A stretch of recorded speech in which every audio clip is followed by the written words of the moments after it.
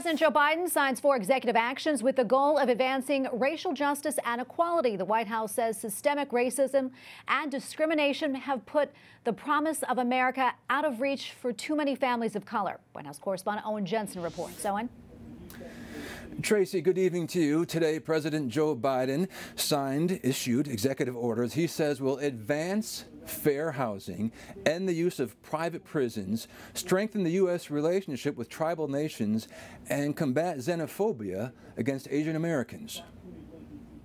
We're all God's children. We should treat each other as we would like to be treated ourselves.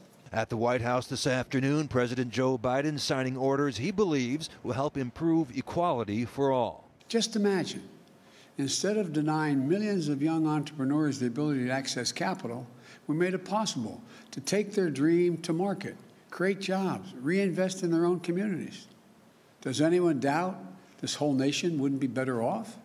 Earlier, White House domestic policy advisor Susan Rice, leading the effort, went before reporters in the briefing room and made this promise. We'll hold the federal government accountable for advancing equity for families across America. She adds, for too many families, systemic racism and inequality in our economy, laws, and institutions still put the American dream far out of reach. Also today, Janet Yellen was sworn in as the first female Treasury Secretary by the first female Vice President. So help me God. Congratulations, Madam Secretary. Congratulations.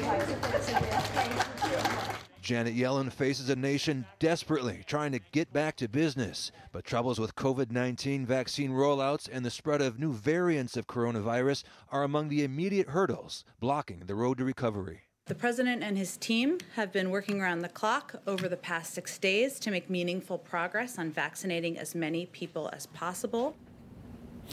Also today, President Joe Biden spoke by phone with Russian President Vladimir Putin. Among the things they discussed, the New START nuclear treaty, the poisoning of opposition figure Alexei Navalny, a massive cyber espionage campaign, and reports of bounties on American troops in Afghanistan.